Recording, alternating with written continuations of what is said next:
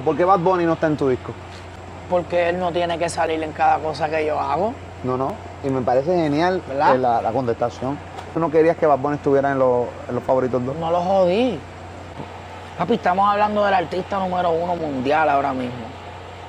Yo estoy consciente que aquel niño de tres años atrás se convirtió en el artista número uno globalmente. Hay que respetarlo. Papi, el hombre me llamó el Día de los Padres y me felicitó. Y me dijo solamente felicitado dos personas. Mi padre y tú. Y a mí se me salieron las lágrimas. ¿Sabes? ¿Tú sabías que uno de mis logros más grandes es eso que tú acabaste de decir? Que yo fui el primero que grabé con él. Ese es el Grammy que nunca voy a tener. Wow. El Billboard que yo nunca voy a tener, yo lo tengo ya. ¿Tú sabes por qué? Porque él se lo ganó, cabrón.